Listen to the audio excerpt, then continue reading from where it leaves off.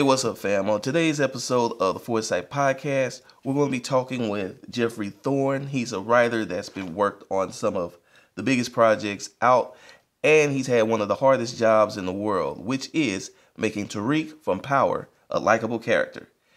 Is that even possible? Well, we're going to find out.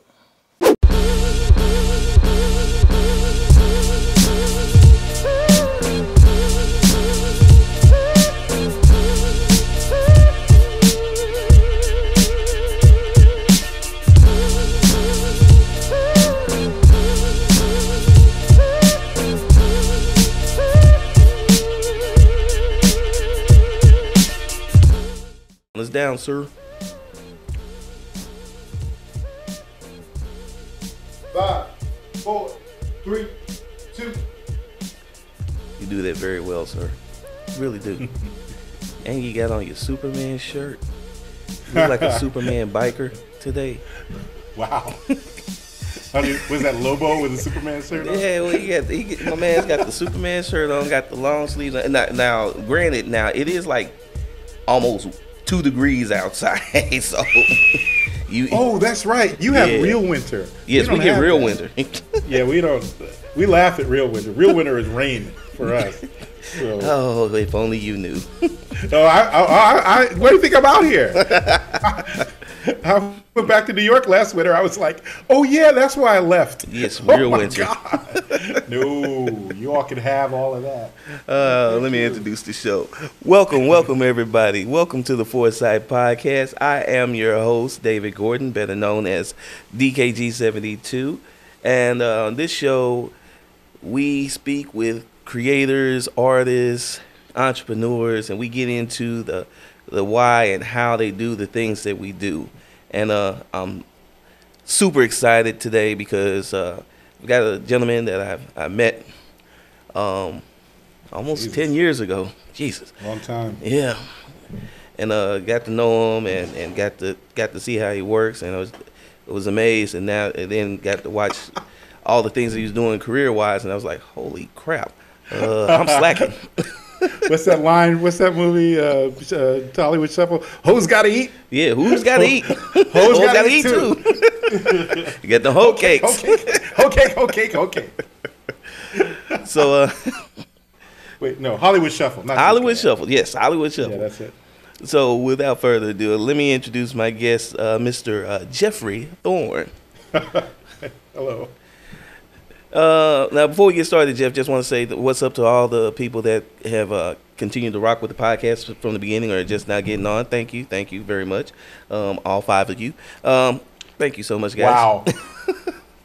we're Well, small. let's see if we can up that count. Yeah, we know we're growing. We're, we're growing. We're growing right now. Um, so let's just get into it, Jeff. Um, tell everybody kind of your superhero origin story. How how how this all got started. Okay. The short version is I started out as an actor, uh, got some success doing that. Uh, at some point during that career, I realized it wasn't for me. Um, there was some stuff at the time, like the world of movies and TV and all that is very different now than when I was doing it. And I was doing pretty well. I mean, some people remember those days. Still get fan mail from time to time. But um, I realized I was not going to be getting the kind of parts. They weren't writing the kind of stuff that I wanted to do Right. um, for for brothers mm-hmm. back then. Now, like you can't swing a cat without a black superhero or a black science fiction person, or like freaking Heimdall wielding a magical sword or some nonsense. But Exactly. back then, it was Uncle Phil or Cop Number Seven or Thug Number Three, and I was like, I'm not having this for the rest of my life. I'm going to go do something else. I know a couple um, f- friends um, that have played Thug Number Three. So yeah. oh, hey, you know, you can make a good living doing it. I just was like, I'm not going to be saying this over and over again for the next 10 years. so um, I quit. Uh, And it went really bad for a while. Everybody makes it sound, you know, think I had all that Hollywood money, but I got ripped off by my accountant. I was broke for three years trying to reestablish myself as a writer. Oh, It wow. was pretty rough. Yeah, it was rough, yo. Rough. Rough Yo. and um, but you know uh, I kept working at it. I had a couple of breaks, um, a couple of lucky breaks, and um, I ended up writing short stories, Star Trek stuff. Uh, I was able to use that in Hollywood. To uh, they would like when I started selling short stories, they started taking me seriously because somebody else had paid me to write. Before that, nobody would look at me or talk to me. But now I sold these three short stories over here, and they're like, "Oh, you're real now." I'm like, "I was wow. real last week." like, but okay. And um, a really long story short, I ended up getting on this show called um, Law and Order: Criminal Intent. Me and a partner, we wrote a. Um, she had a, a connect there, and so she's like, "Let's write this pilot together real quick. We can see if they'll they'll buy the pilot from us." Okay. Um, and so we did that, and they didn't buy the pilot, but they put us on staff.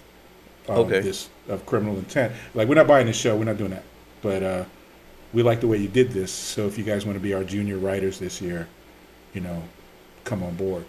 And uh, I said hell yes. She had another job that paid her more because when you uh, when you're a writer team, the company pays you as if you're just one person. So you split the fee, and that split fee for me was going to be a whole lot of money, but from her point of view, it was a pay cut. Right. So, and I was like, "Girl, you better take this job. I'm trying to get out of this house." you, you know, I know, I know you got kids and everything. You better take this damn job. right. So, um, she made the right choice, obviously. Long story short, she made the right choice. she made the right choice. And so I did that. We got we basically got fired off that job, and another show that I've been trying to get on for two years at that point, Leverage. Uh, my agent was like, "You should call them up," and I was like, "They just told me they're not gonna hire me for this year, and because I got another job, they don't want to hear from me, right? Because you don't want to poach Right. writers from one show to another. That's just not done. And he's like, my agent was like, well, you're not on that other show, so they're not poaching anything. Why don't you call them up? And I was like, because they took me out to lunch to tell me I'm not going to be on the show this year. Like, it was very nice, but I'm not going to be on the show this year. And he's like, Jeff, why are you arguing with me? You have a connect over there because they already like your writing. Mm-hmm. You should at least let them know you're free. You don't know right? And I'm like, shouldn't you do that? He's like, I'm not friends with them. I'm just your agent. You know them. You pitch stories to them. They you they gave you the number to call if you ever wanted. See what happens, right? And I was like, all right, that's fair. So I did. Um, and that's such a long story. That's like a whole podcast how that all worked out. but at the end of the day, um, on a Friday, the last day of work on um, criminal intent, um, on that Monday, I went to work on Leverage and stayed there for three seasons. Okay. So, um, and I just started trying to do everything at that point. I was like, uh, I don't know when I'm gonna, I don't know how long this job is gonna last. I don't know how long this career is gonna last. I thought that other career was gonna be everything, and I was gonna at least be sitting on money for the rest of my life, and that didn't work out. Right. So let me let me basically do everything I can do right now. So um, me and my boy put together a comic book. I started trying to do animation work Mm-hmm. like I was doing anything. Like I'll just say yes to anything. And you know, 10, 10 years later, m- more than that now, um, it looks like I got this big fat resume. But really, it was just I'm trying to eat. Yeah. Like I was saying yes. Anybody offered me a gig writing, I took it. Like any job, any job, any pay amount. yeah. like man. anything. No, that's understandable. That's amazing too. Um, so when I met you, we you, we were just forming um, Lion Forge, and you Yep. had got the plum assignment of uh, rewriting. Damn, it was the plum assignment. it was fun. No, like it was fun, but it was wild. That was, Uh, you, know got you got Knight Rider. I got Airwolf, and immediately started getting my head beat in. Whoa, those fans are crazy. Man. Those fans are crazy. I was like, this show's been off the air longer than your ass has been alive. What are you talking about? well, I'm an expert on Knight Rider. I'm like, well, you're not an expert on this Knight Rider. I told you, Um, at least they let you get the first two books off before they turned on. Dude, no, no, no. What? They were like, "Oh, you don't know this story. Ah. I didn't tell anybody. Some some dude. They announced the company announced I was going to be writing Knight Rider, and they never heard of me. God, Mm-hmm. only imagine. But my troubles with the internet have been long. Okay, but because I'm a comic book fan, so I talk a lot of smack about comics, Oh, like oh, as boy. a fan. and right, and then people will go find the stuff that I said and be like, "Wait, this fool is writing my book that I like? Oh hell no!" right, right. So, um, so with Knight Rider, a couple of dudes found out that I was going to be writing it. They didn't know anything about me, Mm-hmm. and they said, "So look, let me hook you up. I'm an expert on um, I'm an I- expert on all things Knight Rider." I know what you're Um, talking about. right. So what you need to do, see, is you need to call me and let me run through all your scripts, and then I'll make I'll tell you where you went wrong, and you can fix it before it goes out and you embarrass yourself. And I was like, yeah, or, or that's a plan. That's a plan.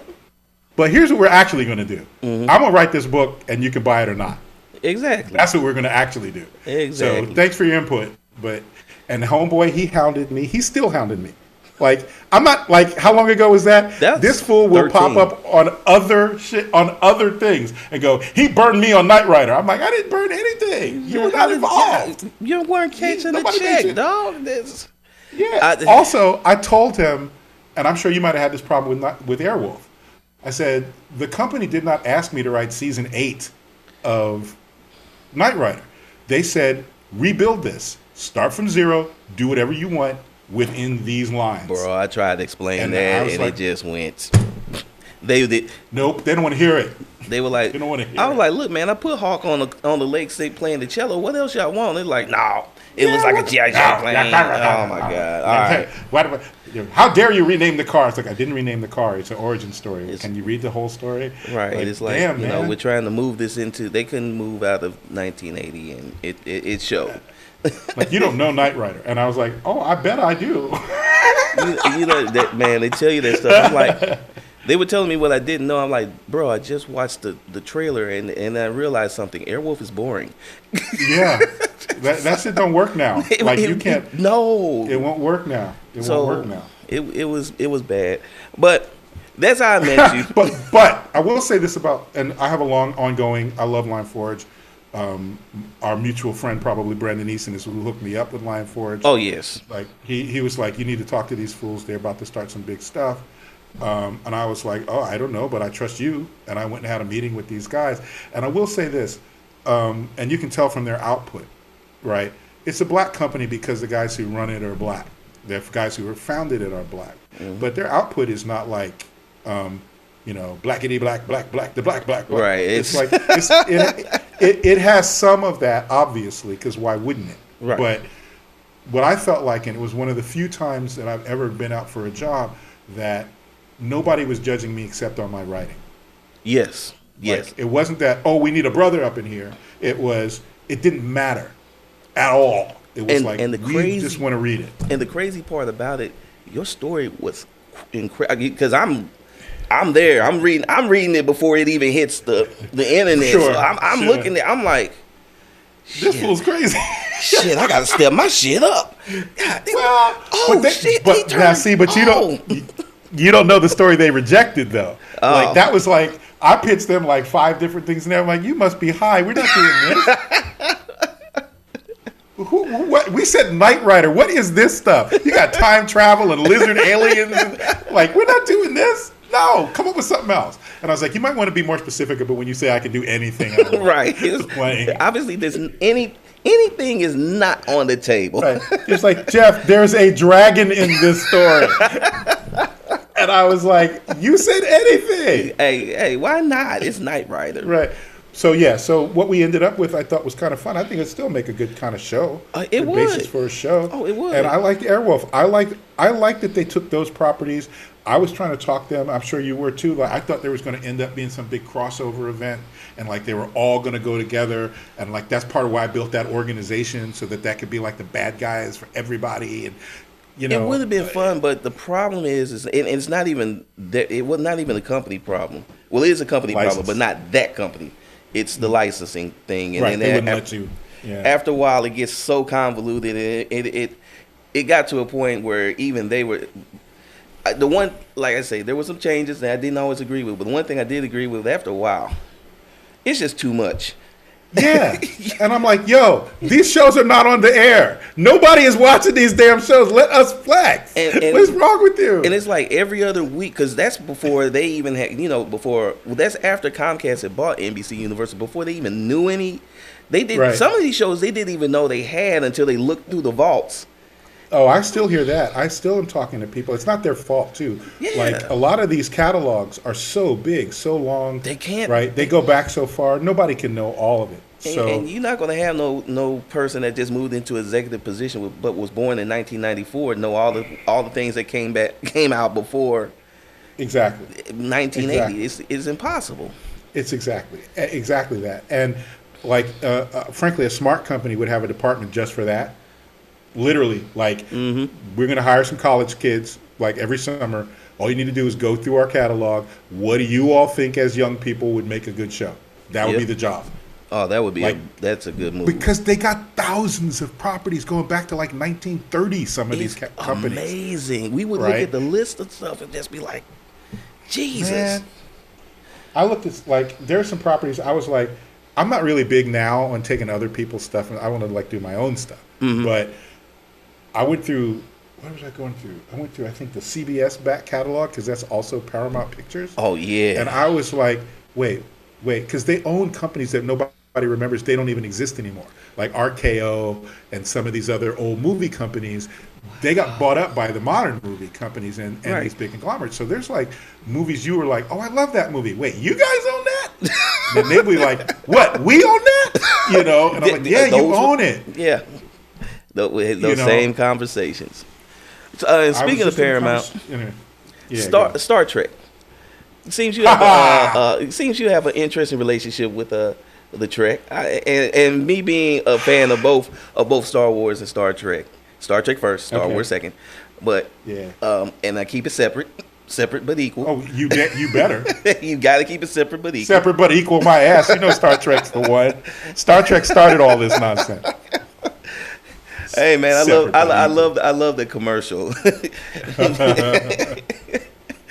Come on, man. oh, I am my daddy. What? What? Wait, what? Just sit down. Oh, Patrick Stewart was great. So, with Star Trek, you said the short stories that you were writing were Yeah. for Star Trek. How Yeah. did how did that even come about? Because I know you Well- you, you were actor and you were kind of transitioning to, Okay. to writing. I wasn't doing very well in the writing thing. I tried to be a screenwriter. I couldn't get mm-hmm. anybody to pay any attention to me. okay. Um, and my wife was like, "Well, you also write, you know, books and you know, you write short stories and stuff like that. Why don't you try that?" I was like, "I don't even know how to get started on something like that. Like, I- never even thought about that life. I don't know." Mm-hmm. So for a while, it was nothing. And then a guy at my comic book shop was talking about. This is going to sound hysterical to you, but Peter David, who used who got famous writing the Hulk, mm-hmm. was writing Star Trek books, and I Yes. was in love with his Hulk run at the time. I was like, wait, what? Peter David? Peter David? He's like, mm-hmm. dude, you need to read these books. They are crazy. They're just like what you would think Peter David would do with Star Trek. And I was like, but I remember those old Star Trek books, uh, except from this guy, James Blish. Mm-hmm. I never really liked them. I always thought they were kind of weak. He's like, you need to check this stuff out. They're not doing it like that anymore. So I went and I grabbed some Peter David. We did this thing called the New Frontier, mm-hmm. which no one will ever make into a show because that was some crazy nonsense. Okay, I mean I loved it, but he was going off. Yeah. like he's like, ain't nobody watching me. I'm doing whatever the hell I want. But um, but at the next, literally right next to that the, that book, The New Frontier, was this book called Strange New Worlds, which was a anthology, but it was a contest book. Basically, the idea was every year they put out the word, send us some short stories. If we like them, uh, the ones that are the best will get the top, you know, gold medal, silver medal, bronze medal. But even the ones we don't love that much, they're going to make up the rest of the book. And everybody who gets in this book gets paid. You get a real contract. It's Oh, not just a win. You get a straight up writing contract, which means residuals down the line. There's never any residuals. Don't. That's just, but um, but it, at the time it looked great to me.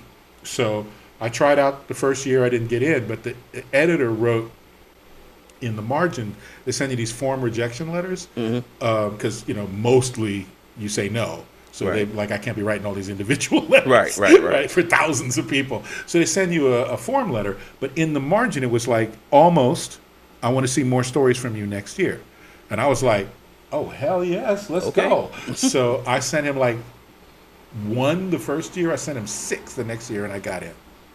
That's what's And up. I got in as a silver medalist. I didn't win Oh, the top wow. spot, but I got a second place. So I was like, oh, okay.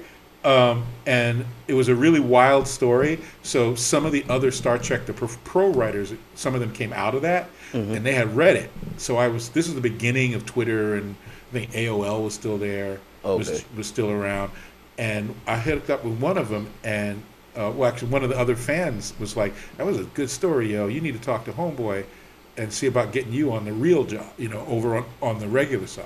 I Okay. was like, I don't even, I don't know these people. I don't know how to approach any of these dudes. He's like, I'll tell you what, this guy's actually in this system. He came out of the same thing, the program you just came out of. If anybody knows it's going to be him, all you got to do is ask him. The worst he can do is say no. And I was like, you know, that's true. Right. So that guy's name is Dayton Ward, and mm-hmm. he was a three-peat first prize winner. And I was like, oh. well, I'm not, I'm not rolling like that. but, and he had been writing books and books and books, and I was like, okay, well, he's good, I guess. So I hit him up. I said, what should I do? He's like, if you got into the top three, they're already talking about it Oh, right? Oh, wow. because all of the editorial staff will see the top three books, uh, top three winners, because those are the guys that they're going to start to ask way down the line Mm. if you, you know, they might throw you a story even if you did nothing, right. right? And I was like, huh. So what should I do? Wait. He's like, hell no. You should hit up this editor. and I was like, but I barely hit you up. I don't really know the editor. He's like, here's how I hit him up. You just tell him you want to write Star Trek stories. Here, remind him who you are. They're going to have you on a list because all the winners are on a list.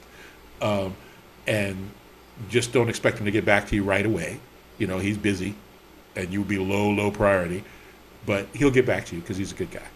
And he was right. He did get back to me, and Okay. um, we talked. We talked for a bit, and I was like, "Well, I don't have anything to pitch you." He's like, "Good, because I'm not listening to damn pitches right now. I'm just trying to feel you out, what kind of guy you are. I really liked your story, so I know how you think." Uh, and I was like, "I don't think you do," but um, but that's cute. You think that, um, but I'll tell you what. I'll keep you in mind. And then a few months later, somebody dropped out of the of an anthology. I don't know what the circumstances were, but somebody dropped out of this anthology that ended up being called "Prophecy and Change" about Deep Space Nine characters. Okay. He's like, look, somebody fell out. You interested in taking a shot, taking that slot? And I was broke as hell, yo. Like broke. Like, where's my next money coming from? I know the feeling. And I was like, how there. quickly do you turn these around once I turn the scripts in? He's like, well, it's, it's the end of this current month, and I just paid rent for the next month. Um, do it quickly enough, you turn it around in three weeks. And I was like, boom, let's go.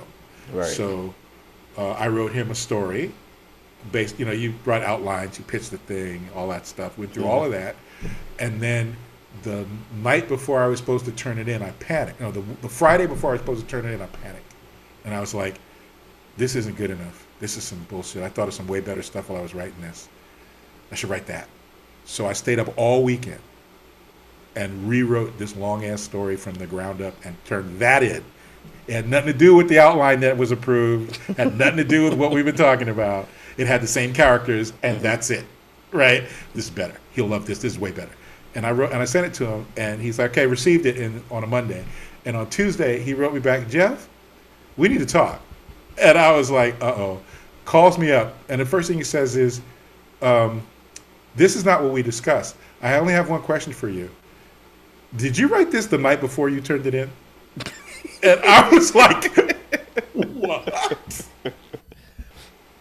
right? And I was like, well, yes, yes, yes, sir. Yeah, yes, yeah. I did.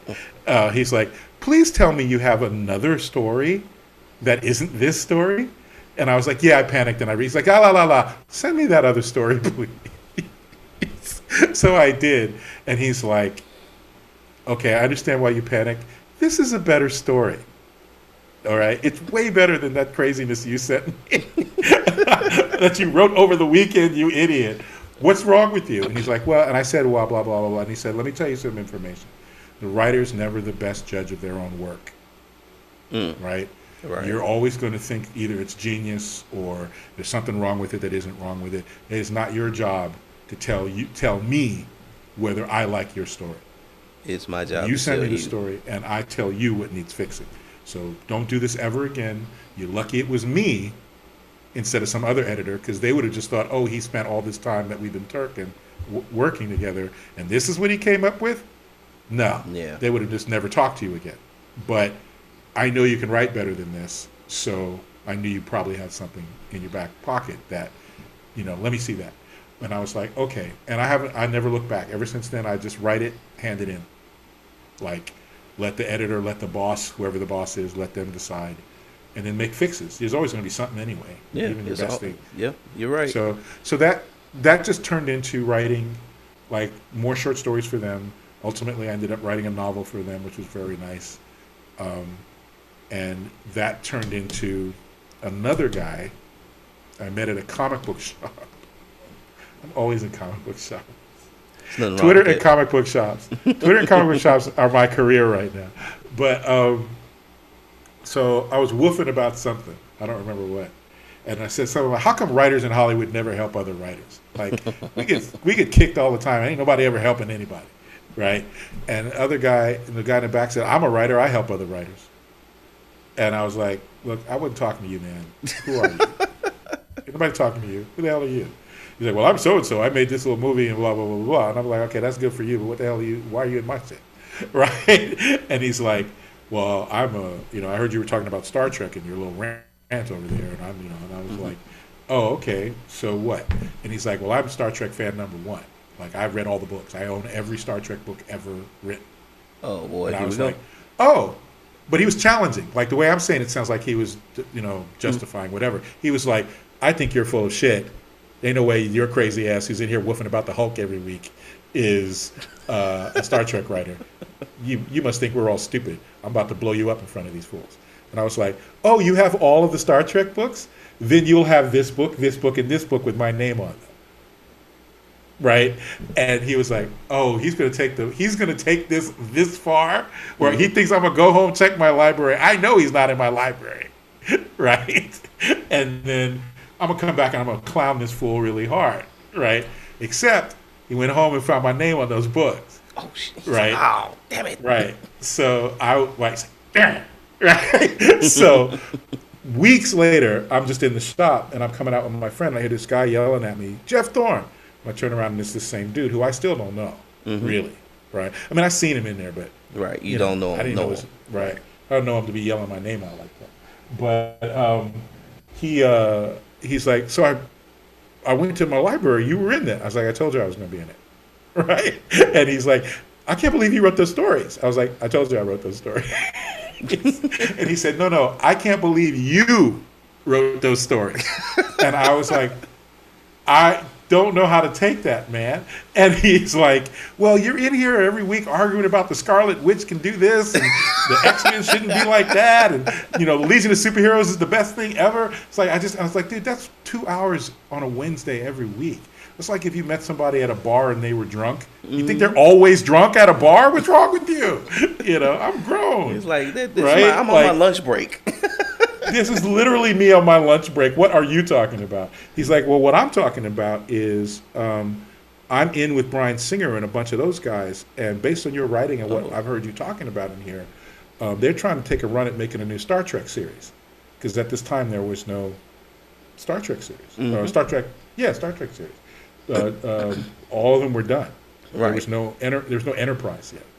okay, so this is Um, yeah, yeah, Yeah. This was, I think there was no Enterprise. There was only, yeah, Voyager was it, and it was Yeah. almost done. yeah. Voyager Right. was at the end of that run. Okay. I So know. everybody was sort of like kind of vie to get the franchise, Mm-hmm. and it's like, so I was thinking maybe this guy's like, I think you might be the guy to design the show for them, because I read your stuff and it seems like you really, really know your shit.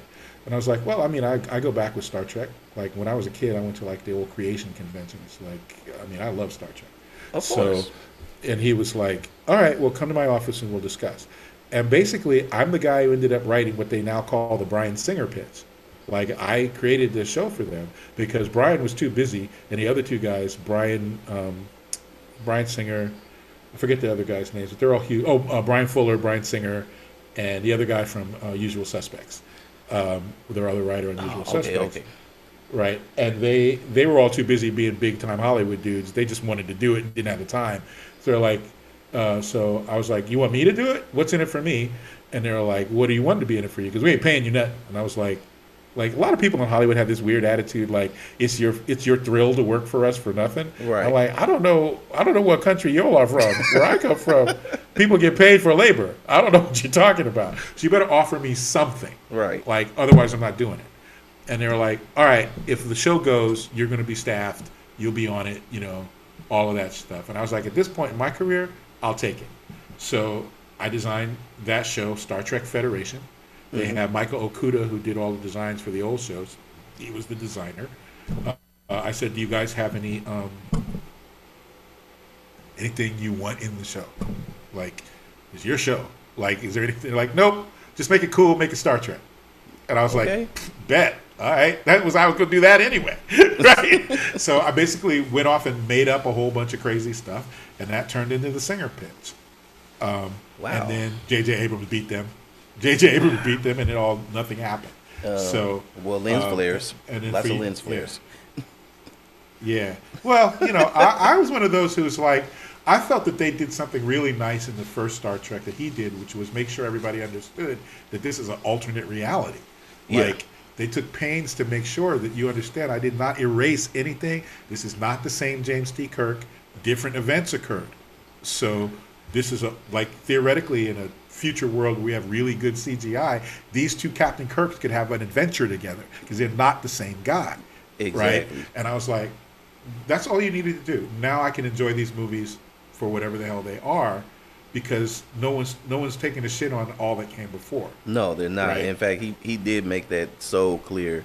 And I'm a, I'm of that Yeah. rare minority that actually like uh, Into Darkness. You know, most people hate. it. Oh, what? Oh my God. Well, all right. I don't hate it, but they didn't need to have Khan be involved at all. All they need to do is not call that character Khan. Now, I kind of agree with that, but you know what Into Darkness really was for, for me, and this has always been my Mm. theory about that movie. If you go back to the first movie, Into Darkness was the test Kirk cheated on when he first met Spock. Sure, sure. and that sure. was that was literally to me that's what the movie really was all about making showing finally finally bringing All- him all the no, way around you're, to that you're not wrong. I agree with all of that. My only problem was, is that one, look, y'all, you can keep trying to climb that mountain, but none of y'all are going to beat Wrath of Khan. and none of y'all are going to beat Wrath of Khan. You give it up. It's not going to happen. Like, Oh, that- no, no, that's no. A, that's like trying to go up Everest barefoot. You're never going to do it. and, and that's always been one of my things i've never said that was as good as wrath of khan ever Why would you? That, Yeah, people put no- you in an insane asylum. Yeah. Like that's some nonsense. but the the reason I felt like they made a mistake even trying to link it to that was the whole point of Wrath of Khan was your past mistakes coming up to bite you on the ass. it was right? But the Into Darkness crew was too young.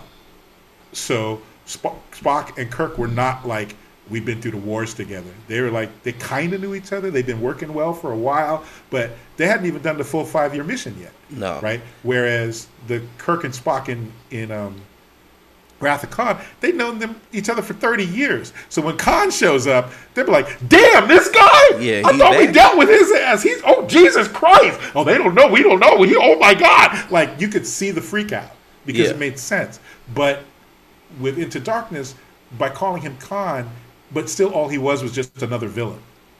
Like he wasn't like he wasn't their fault. He was their boss's fault. yes So I was like, uh uh this is not going to work. But if he had just not been called Khan, if it had just been like, like everything else the same, just don't call it that, then you won't have to worry about any of these criticisms and it had just been a movie.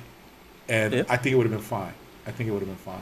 yeah Um, I, I, I, and I liked it. I liked it. I liked introducing Homegirl, his love interest, who's going to be his his his baby mama one day. At- at- at some point. all of that. Yeah, I mean they have fun with it, and I really liked um, the Beyond. Where Oh, people yeah. get mad at me about that, but I was like, they saved the day with hip hop, y'all. They you need did. to They sit down right now. like And- that was. and, and and you know what this is what we're going to do we're going to go ahead and, and break for a minute because we got to Okay. pay some bills but when we get back we're going to we're going to continue our little star trek talk because you know we're star Okay. trek geeks but more even more importantly we're going to get into some of the things that you're doing now and of course we're going to get into your favorite playground of all playgrounds Uh-huh. twitter Oh, yeah, let's go. They don't, Uh, they don't want none of this. They don't want none of this. Oh boy, uh, I just you know what I sit back and watch. But we're gonna talk about that when we come back. it's the 4Sight Podcast. We'll be right back. Do you need to reimagine your love? Relax and set your mind free with the Black Love Chronicles coloring book from 4Sight Publishing. Color in the spaces of love, lust, commitment, and embrace true passion with the Black Love Chronicles, available on Amazon. Get your copy and recolor your happiness today. Ready? Five, four, three, two. Well, we're back on the 4Sight podcast, and um, we were talking about Star Trek Into Darkness and all those good, uh, you know, Star Trek Beyond, and, and then it got got me to thinking about another another thing, another dark place in the world, Oh my God! You need to stop it. a place um, that can only be described sometimes as the Mos Eisley of the internet. that actually, I think that's actually fair. I think so too. Yeah, that It- works. yeah. Yeah, that's Um, fair. It is a place of uh, uh, untold scum and villainy where one man, maybe not. Maybe not just me. one man, well, well, a lot of people, like men and women, but but one man in particular, especially in our industry, he likes to post things of, of a, a provocative nature. I mean, is it though? I'm just innocently saying my thing. People, Most people recent-. Most recently, people that love the of the poor, boring Hal Jordan had to come Oh, whatever, to y'all. to Hal Jordan's defense, even though Hal Jordan is the most boring character on earth. Oh my God! and and and they and they swooped in on uh, on on our guest, and, and, and what they didn't know is that our guest has a unlimited cache of ammo I'm not the one for that. I'm just not the one. of quick retorts, smackdowns, and everything else. So Jeff, why is Twitter your favorite playground? You know what? It's not. It's COVID. I was talking to some boys about this. Wow. Um, even even even even without with just the loss of Donald Trump as president, Mm-hmm. my presence on Twitter has dropped by thirty percent. Right. Like uh, I'm not as stressed out. I'm not needing to talk about frankly tense things as much. Mm-hmm. And also in the there's no real world for me to go out and do it in. I'm no hanging out. So uh, there's a lot of that. Plus the same access that people have to come at me about stuff. Mm-hmm. If I'm mad at Donald well, until he got banned, haha, um, And it's forever uh, now. until his ass got himself finally banned, Mm-hmm. um, I would just if I got something to say to him, I say it to him. Right. Now I know he's not reading it, but maybe one day he happens to look at the screen and it's my tweet that popped up, and so that made me feel pretty good. Um, as for the rest of it, um, I think like anything, it's a tool. Anything is what you make of it. Uh, and the way I was before I got hired to write at DC, talking to other fans about comics, saying what we all different people think. I have friends that love all that um, Zack Snyder nonsense. I hate it. um, and sometimes it comes up and we have long conversations about it and I say what I think is wrong with it and they say why they love it. And sometimes it gets heated, but not really heated. And then, you know, and like I have this whole running gag where I, anytime somebody mentions Gambit in a positive way, I'm like, Gambit sucks, just something wrong with you, you need to go to the hospital. Um, um, but I don't really care about Gambit. I just think it's. I chose Gambit at random. It could have been Nightcrawler. It could have been Dazzler. It's just like literally anytime anybody says something nice about Gambit, I will show up and go, "What's wrong with you?"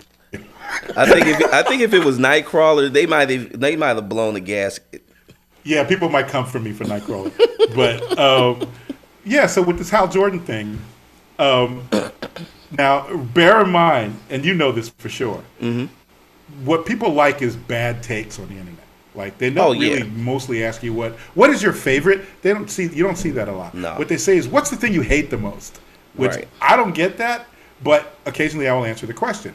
Um, so at DC, there are somebody will, you can check the like somebody came at me with this, so they compiled all of my tweets about it, which is somebody will say, "What's your hot take about DC Comics that will make the other fans come at you with knives?" Right? and I go, "Oh, well, Hal Jordan is boring as fuck. Uh, it should have been John Stewart in those movies ever since the. Oh, I just lost one of my lights. Okay, um, that's all right. It should have been John Stewart in the movies. It shouldn't have should been, have been. Hal. Yeah. Uh, that was a whole lot of money that um, Warner Brothers left on the table, Mm-hmm. and uh, Hal is boring as hell to me. Made out of cardboard is what I like to say. Um, and so every time, and about once every four months, somebody will ask that question, and about once every four months, I'll see it and go, "Oh, Hal Jordan's made out of cardboard. He sucks." right? This is Jeff as a fan, Yeah. right? Yeah. So that went on from, I guess, it's been going on for about six years, mm-hmm. right? Six years of once every four months, right? Right. And every once in a while, someone who love, when my friends uh, who loves Hal, will be like, "Is he though? Come on, let's talk about it." And I'll be like, "Here's why he's made out of cardboard." Blah blah blah blah blah blah blah blah blah blah blah blah blah blah blah. Right? But it's me talking to my friends. Right. Again. So it should be. It, it's public, but it's It's public. it's your but- public conversation with your friends. And Right. for fictional So- characters, somebody shouldn't feel a certain way Please about. don't get me started on Lobo. Please don't get me started on Lobo.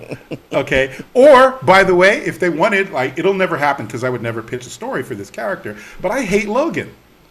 I like X twenty three. I like Laura. I think they should retire Logan's tired ass. I'm the best at what I do. I already know why. just be X twenty three. To hell with frickin' Logan. Bite me with Logan. Oh okay? boy, the Now, hot takes. what- Yes. Right. Now that's just how I feel as a fan. Yeah. The difference is I'm never going to go to Marvel and pitch them a, a, a I hate a Logan's Wolverine story. Yeah. Never happen. Yeah. Right. And if Marvel said we want to work with you, but the only thing you can work on is Wolverine, I'll be like, well, then you don't want to work with me because I Of ain't going to be writing any Wolverine stories. Right. Right. Um, and, and that's, that's the same is true for many characters for different reasons. Um, so what happened with that was DC and it's a very long story. I don't know if we have time for it, but through a very long and weird sequence of events, I ended up being one of the many writers who was going to be doing some new stuff for DC. Um, many of whom were going to be doing stuff in the Green Lantern space. I pitched them a John Stewart story. They're like, "Oh, we like that. Go do that. You seem to you seem to really like and, and know the character." And I was like, "Cool." By the time the public heard about it, I was the only man left. So my John Stewart story became the Green Lantern. Right. Okay. But we don't tell that to the public because that's nobody's business. Right. Uh, and I certainly didn't say no. I could have said, "Oh no, I don't want to write the whole book. I just want to do my little story over here." They were like, "Do you want the whole book or not?" And I'm like, "Well, you got to say yes. Yeah. Like you have to say yes." So that's how that happened. But when it was announced, a couple of people never heard of me. Why would they? Right. So they went and checked me out.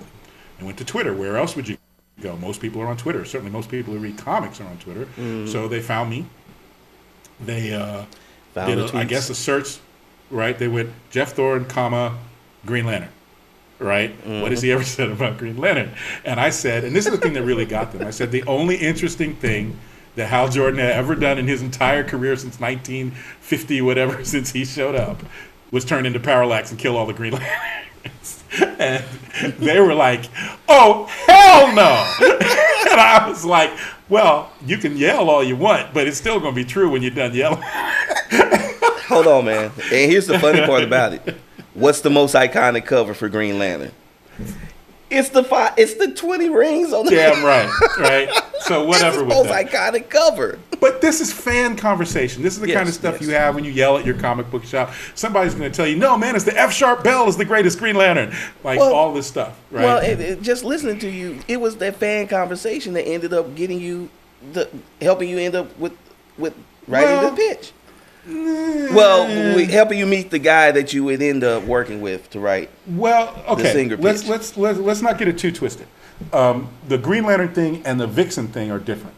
Twitter created the Vixen comic that is coming. Oh no no no no! I was saying it's that fan but conversation in like when you having the fan conversation in the com in the Well, the way, yeah, I mean, we love comics. So Yeah. geeks like us love comics. So I'm going to be talking about comics. I'm still talking about comics. The only oh, comics long. I'm not talking about are the ones I'm actually writing because that's not fair. yeah right? That makes so I won't be talking about Green Lantern anymore now that I'm green, writing Green Lantern until I'm done writing Green Lantern, and then I can go back to talking about Green Lantern like a normal person. You won't give But I can't do it. Right. Um, depends on what you ask me. To be honest with you, more Okay. because I don't want to spoil the story. Nah, But yeah. the the bottom line was some guy compiled all of these one line, two line, and one conversation tweets that's amazing. um, and ran over to Bleeding Cool with it. And Bleeding Cool did to me what they did to to uh, to Dwayne McDuffie back in the day on Justice League when he was having some trouble with uh, Dan DiDio on that. They ran it together like it was some crazy rant, and then all these people started coming at me, and I was like, I don't know what you expect me to say. Am I supposed to not say? It's not like I ran and hid all my like. Why didn't you erase all of your tweets? I'm like, why would I do that? I still believe everything It's I said. not that serious. It doesn't even matter. Even if it was that serious, I said it. So like, if I had erased it, you could still find them. Nothing is ever erased on the internet unless you destroy the original server. Nothing is erased. Right. So if you really wanted to find it, you would have found out not only that I wrote them, but that I then cravenly went and erased them because I got this job and I didn't want anyone to find out. I don't care whether you know what I said. Everything I said, I meant. The thing I said to them, all the people who were coming at me, was, uh, I'm a professional writer. I don't know what you're used to dealing with. I don't know what these other comic book writers have been telling you or how they interact with you. But me, I do this for a real freaking living. So I can think one thing as a fan, and then if DC said, well, look, we know you don't like Hal, but he's got to show up in the book, there wouldn't even be any conversation about that. Right. Like if Hal shows up in the book, it's going to be Hal freaking Jordan, and you're going to recognize him as Hal Jordan. I'm not going to make him the Mort. I'm not going to be having people kicking him, or he's going to be responsible for the freaking first crisis, or like Right. I, I'm not here to tear down your idol. I just don't care about your idol, Right. and I didn't pitch a story about your idol, and I'm not telling a story about your damned idol. I'm telling a story about John Stewart because Right. that's what I pitched, and that's what they liked, and that's what they bought. Hal will occasionally pop in here and there, as will other Green Lanterns. But if you're thinking I'm swiveling to put the spotlight on him, you're going to be waiting a while because it ain't going to happen on my watch. Precisely. And that was never the promise I made. Like Yeah. I never promised you any of that. So you can't get mad when I don't deliver it because I'm not trying to deliver that. So that's still ongoing. Um, there's some people like I went on a couple of podcasts. There was a whole lot of people saying, remember I live on CBR. Like I'm still there. I've been there. I was on CBR before they dumped the old servers and purged everything. Came back, got my same original name, so everybody remember it was still this guy. And I've been on CBR since there's been a CBR, basically. And um, I went to the Hal Jordan, We Love Hal Jordan section, and I said, here's what's going to happen. I'm going to write like a pro. I'm going to write the story I came to write. All the stuff you guys are mad about, you can be mad about it if you want to, but the book's going to come out in April, and you're going to see you shouldn't have been mad. Unless you just can't stand the story that isn't about Hal Jordan. In which case, yeah, you're going to be mad because yeah, this story is not about Hal Jordan. And it's never going to be about Hal Jordan. And I never promised you it was going to be about Hal Jordan. So you can be mad about that, but it had to do with any of the stuff you're mad about. Right? That's just you don't like any lantern that isn't Hal Jordan. Exactly. Okay, fair enough. But I don't take jobs so I can smack some fictional character. Like, I don't know who would do that. Maybe there's somebody like that. I think the fans man, just can think that, or they they because maybe a guy comes in with a different take on their favorite character, and they say, "Well, they're doing it on purpose," and I'm like, "No, that's I don't, I I I, I just can't see it. I don't see it. Like I just don't see It's- it."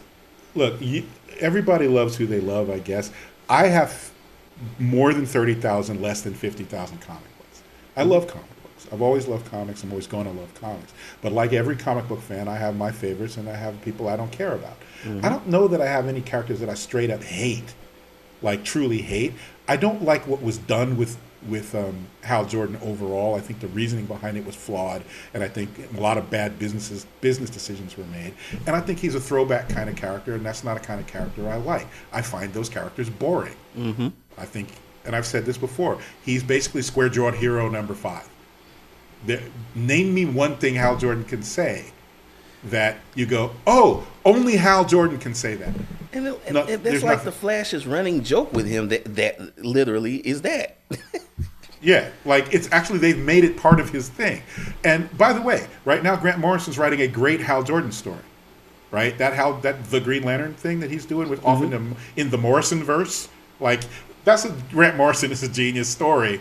But even that story doesn't make me go, oh man, that makes me think of some great Hal Jordan stories. So if I'm not inspired by the character, you don't want me writing that character. You don't have it's gonna voice be boring. Yeah. It's just going to be boring. And I'm not interested in boring you right? So when he shows up, he'll be a nice flavor, but he's just not going to be the main course of this meal, which is a good thing. Which is a good which thing. I think is fine. You Yeah. know, it was it was when after Parallax, Kyle was the Green Lantern for ten years. Yeah. It's been just about that or more that Hal was the Green Lantern. Now there are plenty of people out there who are like, why isn't it Jessica's turn? And I'm like, mm. why isn't it Jessica's turn? I just didn't have any stories about Jessica. At the time, I got some cool ass stories about Jessica now. So, like, you guys, they th- think they know what they're going to get because all they've gotten is what they've got. So, here's a spoiler, sort of. Okay. Um,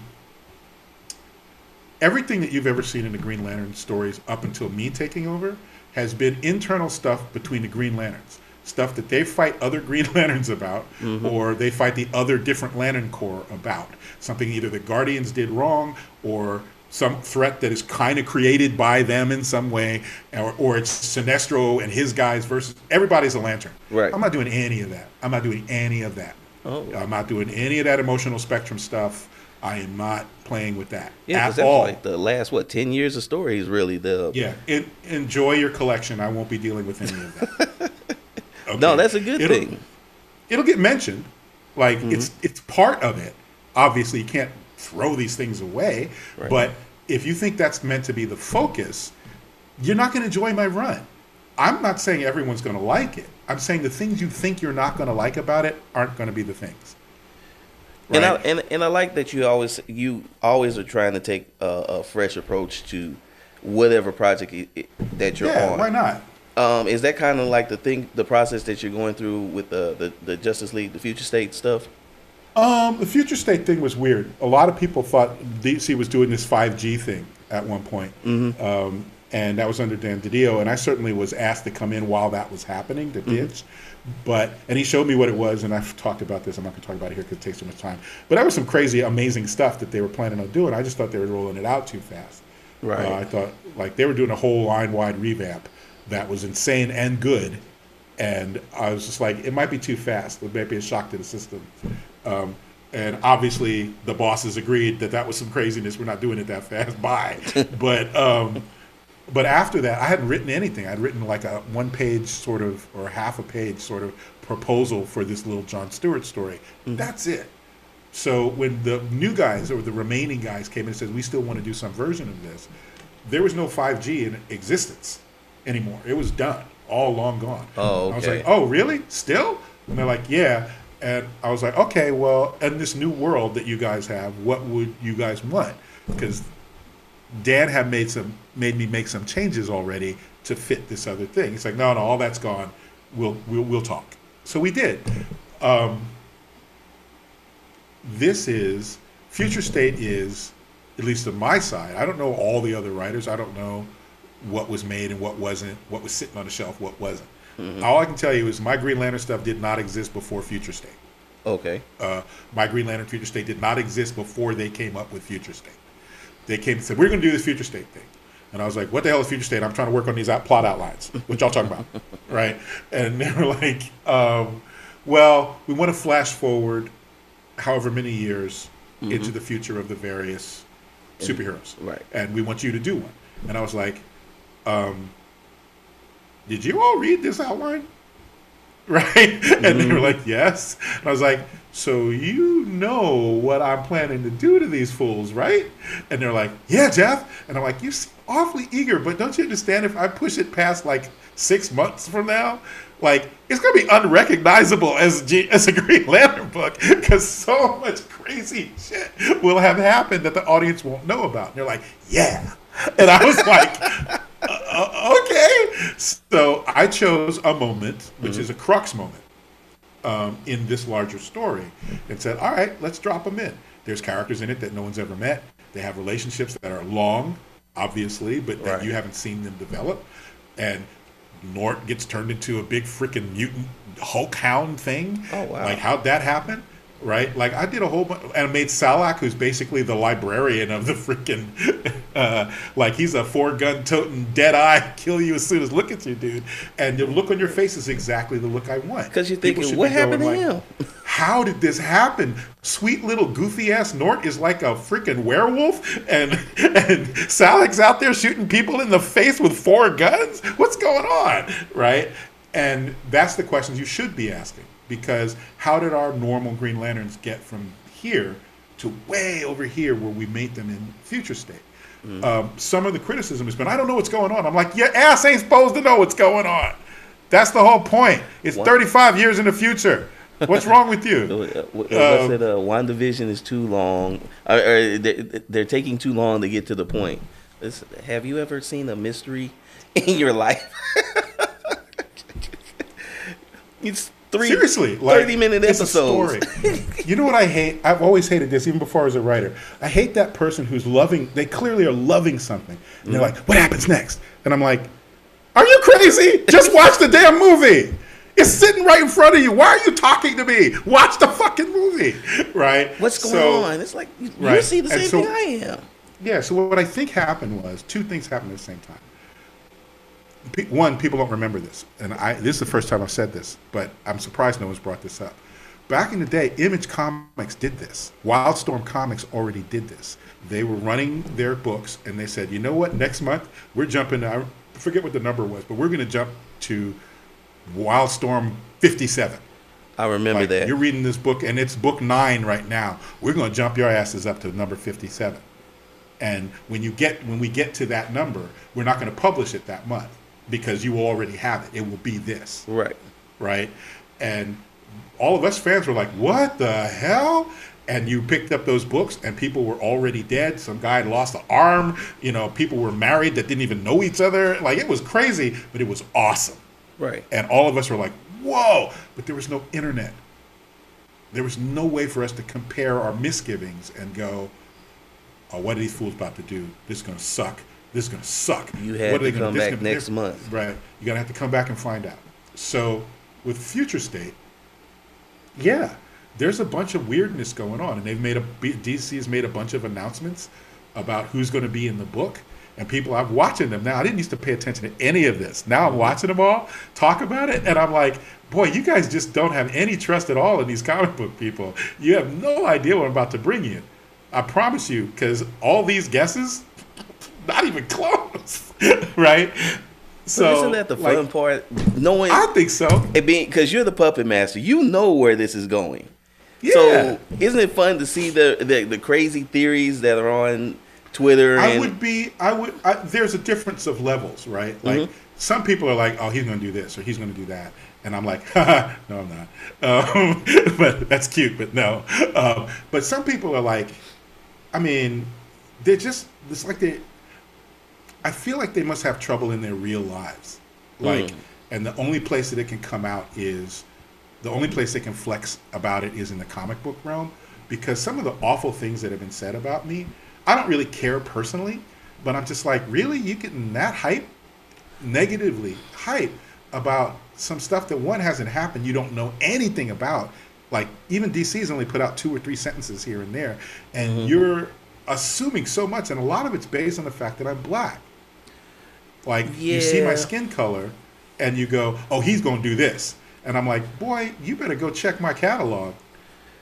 Sometimes Seriously. I have to check out of your comments, um, Jeff. I'm I, I've had a couple. No, no, I can't say that because I because I might start something. Yeah, don't, don't, don't, don't. But see, I'm, You know, I, in a weird way, I'm above that. Like, I'm looking at it from a distance, like a teacher would look at teenagers fighting about some nonsense. I'm like, guys, who has hurt you in this way? Have Right. comic books really let you down so much that everything you think right now is they're about to hurt me again? Because I'm not here to hurt anybody. I'm here to tell some awesome stories. That's what I'm trying to do. Now, you might not agree that they're awesome. Like, you may read them and go, what is this fool thinking about? Galactus is from Marvel Comics. How could Galactus be in this comic? right? How did they get the rights to use Galactus in this comic book? Oh, I see. He spelled it with he spelled it with a K. Don't- So it's DC's Galactus. Right. right? But It's not like that I'm hasn't saying- happened before. right. But I'm just saying, like, I don't know what other comic book writers have done. I don't know what other comic book creators in general have done. I am not out to hurt anyone's favorite character. I don't come into comics to do that. It is mm-hmm. way too much work and way too little money for me to be coming here to be messing with people like that and wasting time. Now, that's not a guarantee that you're going to be happy with my work. You might not be, but that's the deal we make as creators. Some It of the is. people we put out work in front of them are not going to like it. Okay, that's your right. You paid your money, you get to have an opinion. Absolutely. And I'm not going to hold that opinion against you. No. I'm, I'm not mad at you if you don't like my work. You're allowed to, because I'm a fan too. As we've just seen, there's Yeah. bunches of stories I don't freaking like. Okay? Even from writers whose work I love or artists whose work I love. Like, I love Alan Moore, but that Lost Girls nonsense? No. Uh uh Sorry, Alan. You can take that home with you. It's a couple Alan You Moore know? stories. I'm like, uh, I'm not. I don't he- see where the destination's going here, bro. What Uh, were you smoking, buddy? And then uh, there's a couple others. I'll be like, that was it. Exactly. And I would say pound for pound, he's one of the he's in the top two two or three best comic book writers ever to come into the game. Definitely. And still with that, there's stuff he's written. I'm like, nope, sorry, pass, hard pass, go away. Mm-hmm. Right? That's me as a fan. So, and he also must understand that's the nature of the game. Yeah. Not everybody's going to like everything. All you can give them is your best effort. So I, it, it, it worries me and makes me sad that so many people are ready for trouble, just ready for trouble, like looking for it, waiting for it, wanting to have that fight. And I'm like, I mean, if it was important, we could have that fight. You really don't want any of this, but if you really want to make it like that, you're not going to win this fight. I don't know why we're having a big ass fight about mutants right now, but okay, Okay. but you're not you're not going to win. But you know, I, I got five minutes to smack you around if you want. But why? It's it's Like uh, yeah, why? I don't know. So the point is this: it's going to be there's some things that they've announced. Obviously, Mm-hmm. the power battery. is Something's going to happen to the power battery. Um, and I have said multiple times, well, if your ass happened to be in deep space when this thing happens, your ass is dead. wow, that's not Okay? good. Now you could be on a planet and be lucky, and you just get a little, oh shit, my ring, something went wrong with my ring. But if you're flying between, you know, Vega and Aldebaran two, and you're in the middle of deep space, if your species can't live in deep space, your ass is dead, Yeah. straight up dead, and you ain't coming back. Okay, at least not while I'm writing the book, right? I've told everybody this. I'll tell you this, so everybody watching this will get the same thing mm-hmm. if I kill you with a magical blast, or you get sucked into a portal and you get, you know they tell you everyone who goes in there is dead, maybe not. Yeah. But if somebody shoots you in the face or stabs you in the throat, or you get chopped in half, or a boulder drops on you, you can tr- rest assured your ass is dead. Hey man. okay, okay. Um, Stakes. so yeah, right. If death doesn't mean anything, then why why have the adventure? Yeah. right? From my point of view. Yeah. So there's that. Um, yes, the Teen Lantern is going to be in it, but I promise you, no matter what you see in these press releases, it ain't going to be the way you think it's going to be. Oh, I Okay? like that already. Uh, this book is not about the Teen Lantern, just like it's not about Hal Jordan. This book is not about the Teen freaking Lantern. Uh, she's in it. She's gonna have some fun stuff to do. No, right. um, uh, the Far Sector, Jo Mullein, um, she's in it. They've announced that. But again, Not. man, I'm saying, what do I look like? You think I'm gonna do these boring ass ideas you're mad about? I'm not doing that. I'm gonna do some other stuff. You might not like it, but it's gonna be this boring crap you all are talking about. I'm gonna be doing some interesting shit. Um, the other thing is, there's gonna be a whole lot of new characters you've never met before.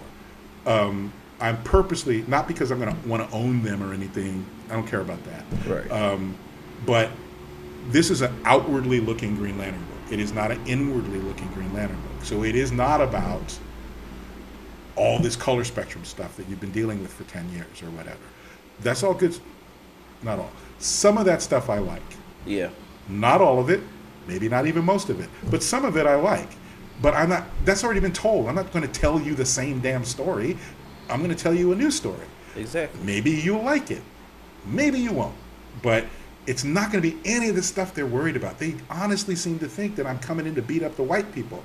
And I'm like, do you not know any black people? Is it is it really like that for you? Because that's no, just they not. don't know any black people, so they don't they don't know. I'm just like, man, it's tiresome.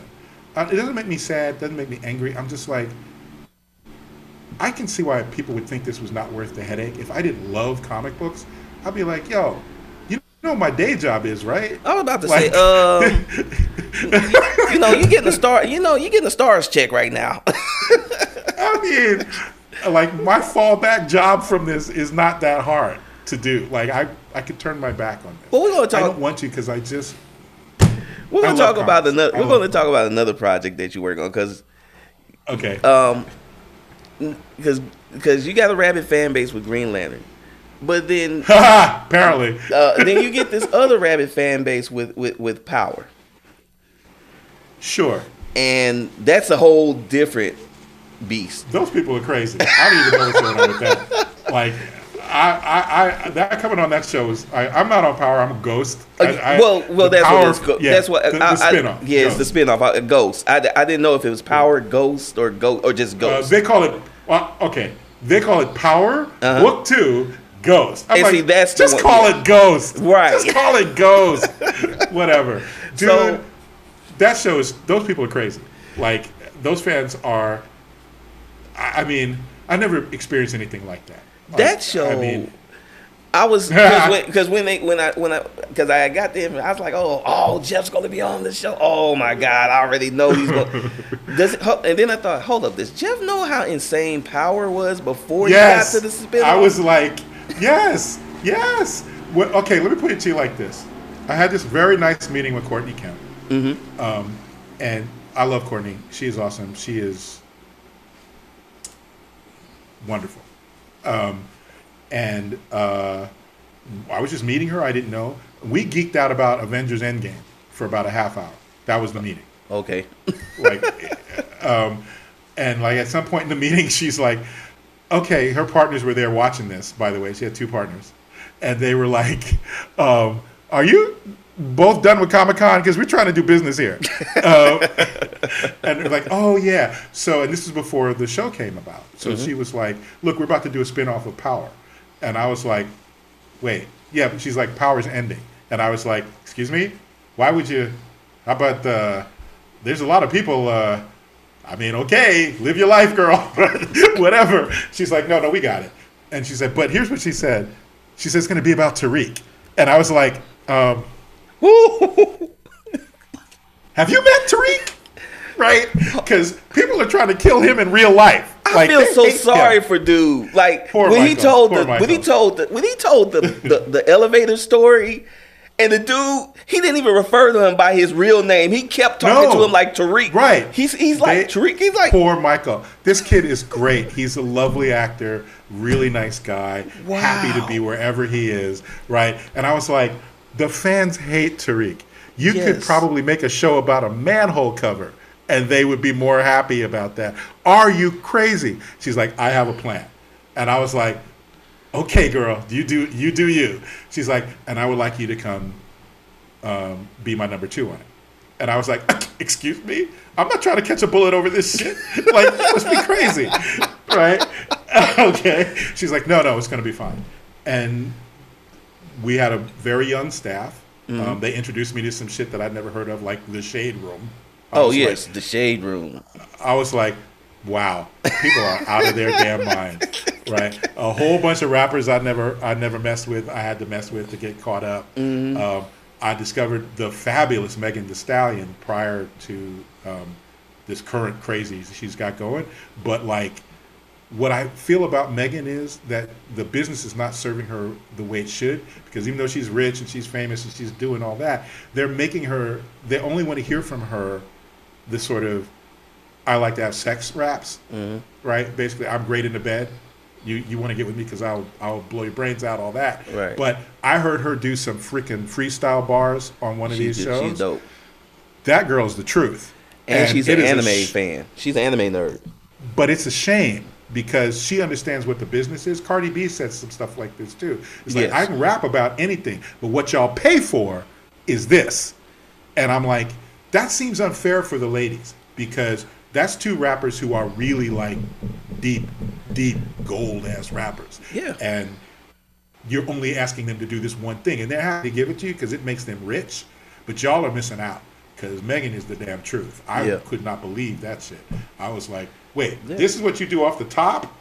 What is this bullshit? Literally, I was like, I mean, you're fine and everything, but that's some bullshit compared to this. That bullshit over there is the check, no joke. and the other that's stuff exactly is what the answer is. And the other stuff is what I the, the stuff she loves, because she grew Man. up in a hip hop household. Her mom used to be a rapper, and she Okay, grew up. She grew up under like UGK and all those, all those, all those legendary acts. So she's got that background. It's just Skills, baby. Yeah. Straight up. like Yeah. for real though. Yeah. And so they hooked me up with a lot of that kind of stuff. And partly the intent of Ghost was we're going to turn that corner for Tariq. And I was like, I am I'm down for this. That is a journey I'm willing to take because I can't see how that's going to happen. I'm now I didn't realize how much hatred was out there until I was on the show. And the show was in hiatus. It wasn't even running. It was in reruns.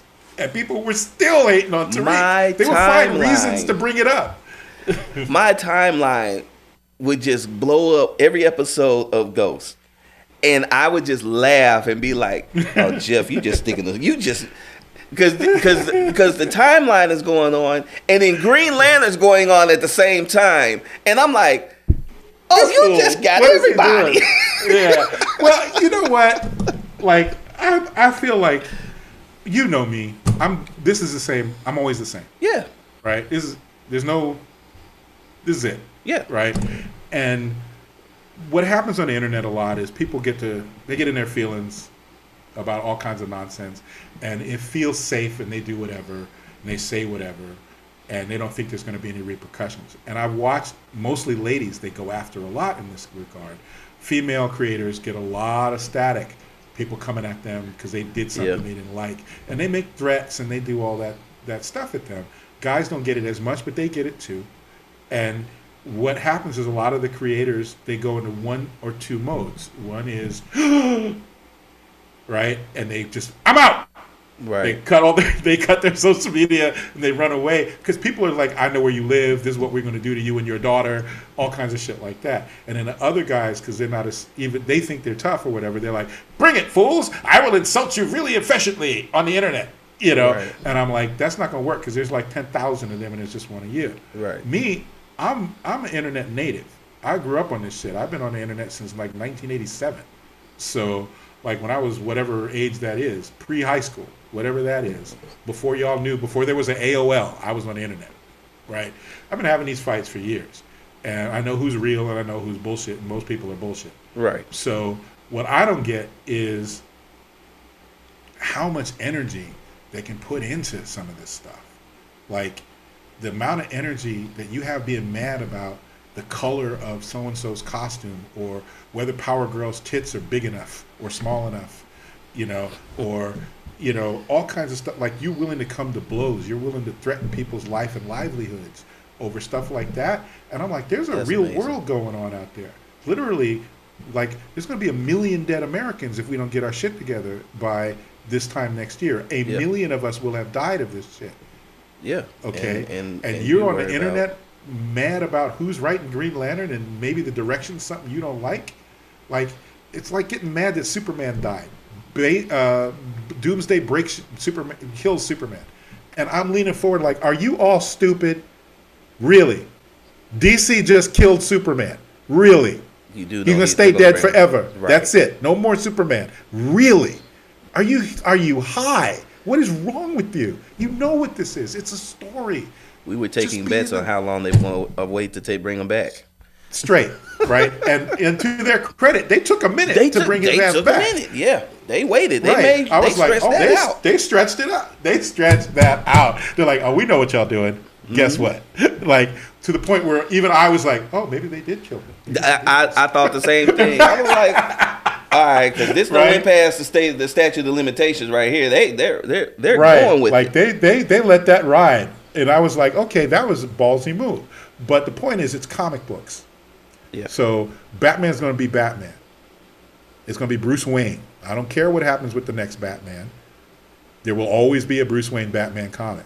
Yep. You can get mad about it up to a point, but after that point, I feel like you have something in your real life that needs addressing. Yeah. And Tariq is just a character. He's not That that, is an actor man. playing a part. He's an He actor playing not- a part. He has a stunt double. he wears ev- when people get shot. There are these things called squibs. They're little blood packs that go. There's no bullets. They don't even have bullets anymore. We CGI the bullets in. yeah, the, the- right. the muzzle Okay. flashes are CGI Guns now. don't even fire. Guns don't even fire. All of that's a, a magic, movie magic. But people were ready to hate this kid on sight.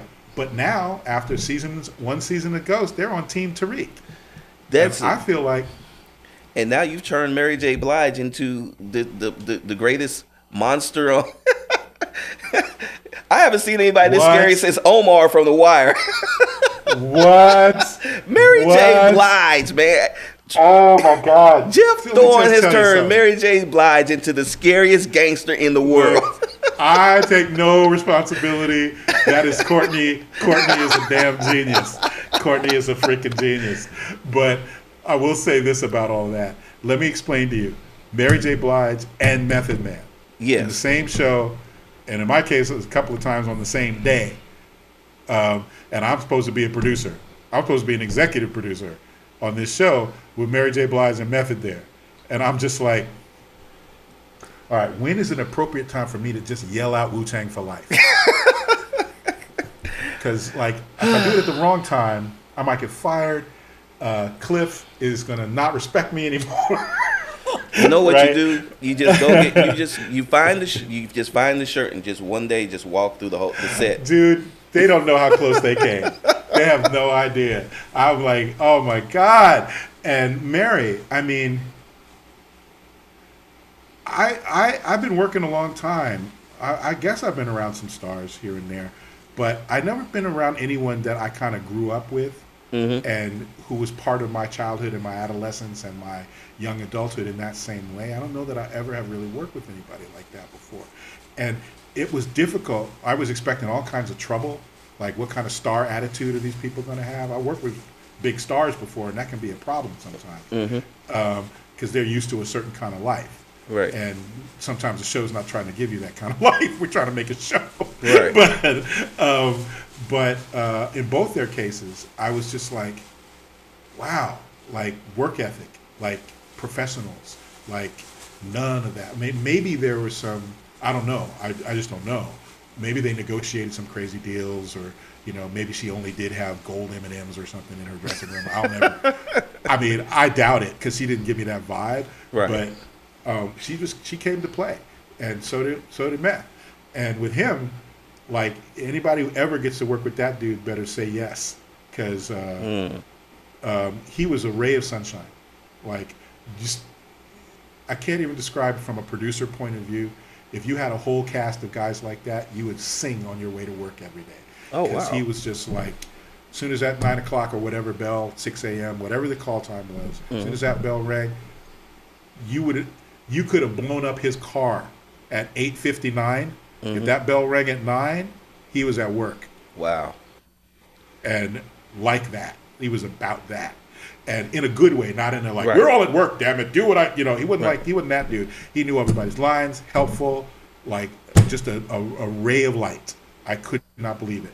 Like, and Mary was just like, just chill, like almost like you just want to sit down and go to sleep sometimes. Like, it was just like a nice, like the energy was like, it's, it's okay. The energy was always like, it's okay, baby. And I was like, please don't say it's okay, baby, to me in the middle of my day, because my day is going crazy right now. right? I can't, I can't be sitting down here and going to sleep on the couch. right?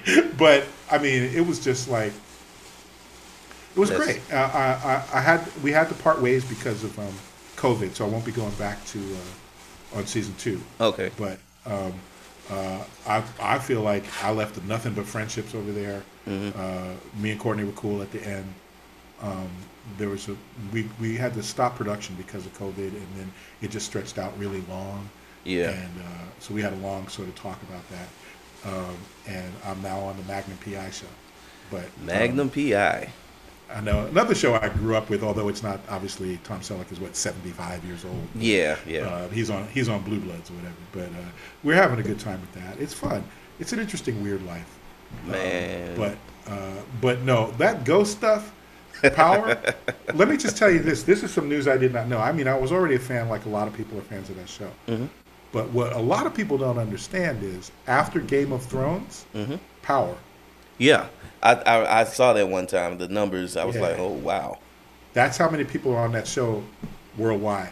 Like Power is a legit phenomenon, and the next number down, I remember what the show was, is like way down. It's like way up here, Game of Thrones in Power, and then way down here is the next biggest show. Like Wow. I'm not kidding, it's that big of a split. Wow. Like um, Courtney, I call it the Kempire. She is she's a dynamo, man. That that chick is, she's a writer's writer.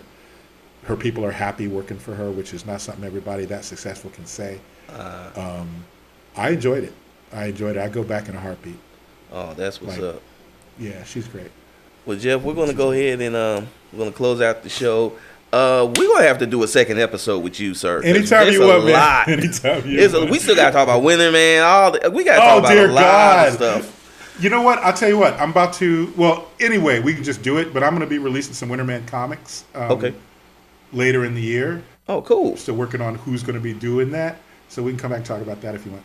Um, or anything else because Green Lantern's about to drop in April. Trust me, we're gonna have to. Yeah, we might have to do a, a series with you. There's an exclusive Jeff I mean, Thorne cool series. with all of it.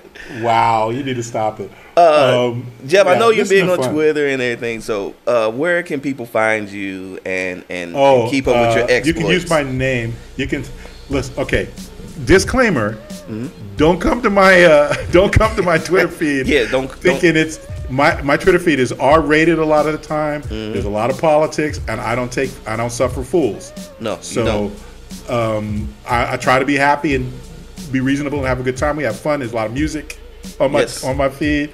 Um, different shows. I try to hit people with stuff, but I'm a grown ass man, so that's a grown ass man's Twitter feed. Yes, sir. Um, don't come by unless you're ready for that. For real, not like Oh, yeah. it's not a threat. I'm just saying it's not going to be all like no. cartoons and you know whatever. But uh, if you want to, uh, you can use Jeff Thorne. Yes, that's sir. the at or Thorne under slash identity is the other thing. Or you can just go to my name. I have a website, geoffreythorne.com. It has the links to everything. Um, you can do that. Uh, yeah. Yeah. Uh, guys, we're gonna go ahead and, and wrap the show up. And uh, if um, um, obviously you can always catch me uh, at DKG72 on Twitter and uh, Instagram, David Gorden 72 on uh, Facebook Ah. fan page and the TikTok. Where I just only thing I post, I don't dance. I just post art. Ah. I just point, post time lapses of art. so don't, That's don't so for dumb. that. I don't dance. I What's don't dance. With you? Can't dance my on TikTok. Oh my god. Oh my god. uh, guys. Um, also, I do have to. I have to give a big shout out to an actress who came through and helped out with a project for me. Um,